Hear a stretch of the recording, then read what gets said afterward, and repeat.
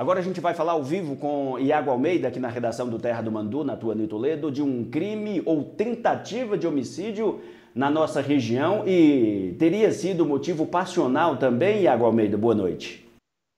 Boa noite, Marcos. Boa noite a todos que nos acompanham aqui no Mando News. Um homem de 41 anos que acabou sendo preso por tentar matar, esfaqueado, o atual namorado de sua ex-esposa. Esse caso aconteceu em Camanducaia, no sul de Minas. O caso foi no, no meio da rua, ali em via pública, na travessa Dona Ica, no bairro Santa Lúcia. O esfaqueamento aconteceu nesta semana, na terça-feira, à noite, por volta das 8 horas da noite, quando a mulher de 40 anos contou para a polícia que o ex-marido disse que não aceita o seu novo relacionamento.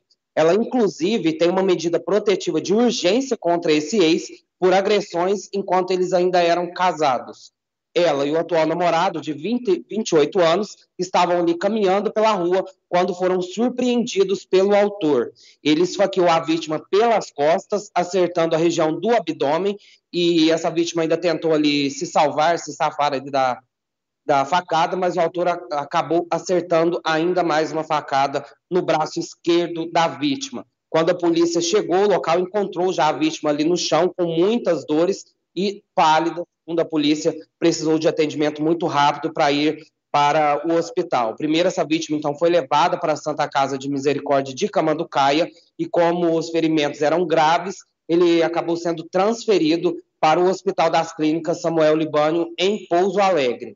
A vítima relatou ainda que já vinha sofrendo ameaças desse autor em diversas oportunidades. O autor do crime acabou sendo preso pela Polícia Militar um dia depois no, na quarta-feira, por volta das quatro horas da tarde. Ele estava em um bar próximo da casa da ex-mulher e ainda estava portando a faca que ele tinha usado no, no, dia anterior. Por isso, a polícia disse que os policiais agiram rápido para prender este autor, que poderia ali é, até cometer outro crime, já que ele estava próximo da casa da ex e ainda estava com a faca usada no crime no dia anterior.